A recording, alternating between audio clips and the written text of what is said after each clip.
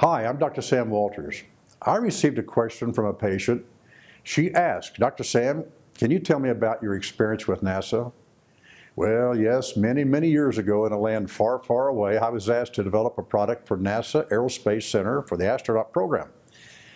I was hired to actually develop an energy bar type product. The whole objective to send nutritional products into space is you have to make sure they not only can function physically under no gravity, but you have to ensure you have the right nutrients to fuel the brain. I spent a lot of time developing a nutritional product that they could break down, digest, and assimilate while in space. There's a lot to that. So I developed a product that looked like a Snicker candy bar and tasted like a Snicker. So I developed a product that was delicious and it met all the requirements to make the space shuttle mission, and I was very proud of that. So that's my somewhat claim to fame.